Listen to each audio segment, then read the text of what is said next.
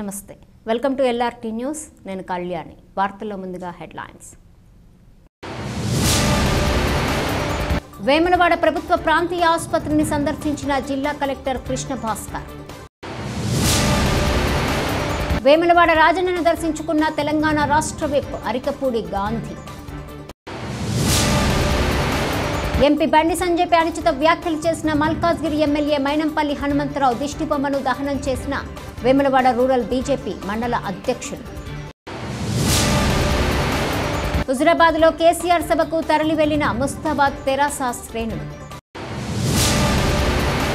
MP బండి సంజయ్పై అనుచిత వ్యాఖ్యలు చేసినందుకు మైనంపల్లి హనుమంతరావు దిష్టిబొమ్మను దగ్ధం చేసిన బోయినపల్లి భాజపా నాయకులు.